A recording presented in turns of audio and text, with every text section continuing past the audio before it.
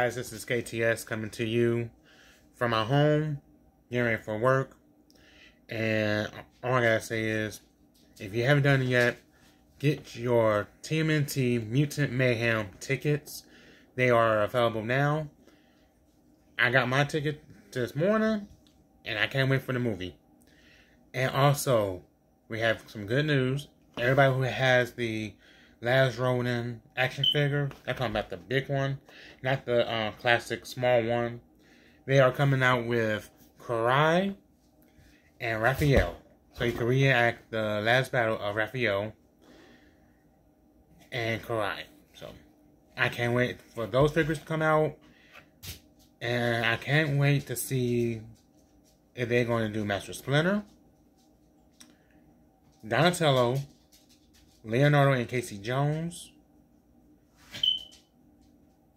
April O'Neil, Casey Marie Jones, and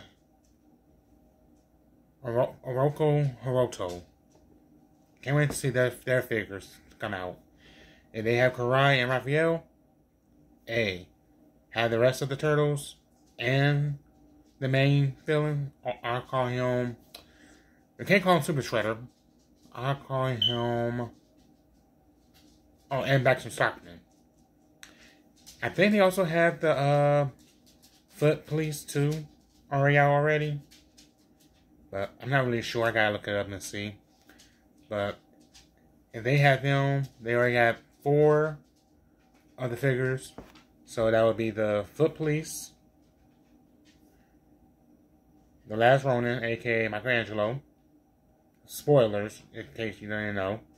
Karai and Raphael. So, and if they did that, I want to see the um, I want to see the Shredder. I'll call him the Omega Shredder because how he's set up, he has two forms. He has his base form, then a metallic metal nanobite, nanobots, nanobots form. So, yeah. So you guys subscribe, like, hit the comments down below, comment down all upcoming videos. Well, now, sorry about that. It's early in the morning. And I haven't had my Ninja Turtle cereal yet. Like I was saying, you guys be sure to subscribe. That was Bailey. Say good morning, Bailey. Help me, human. Alright. You guys be sure to subscribe, like, comment down below on which one you want me to review next. And yeah, that's about all. So KTS is signing out. Like I said, I'm getting ready for work. You guys have a good day. Bye bye.